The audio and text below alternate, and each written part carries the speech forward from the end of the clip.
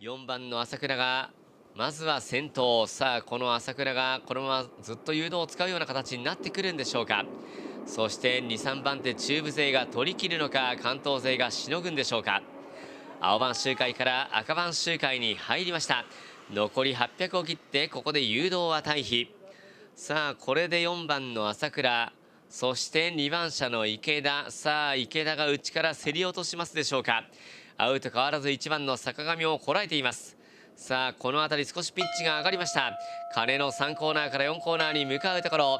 さあ4番の朝倉がかけていって23番手依然として並走。この競り決着がついておりません。さあ残り400を切るところでぐっとペースアップ。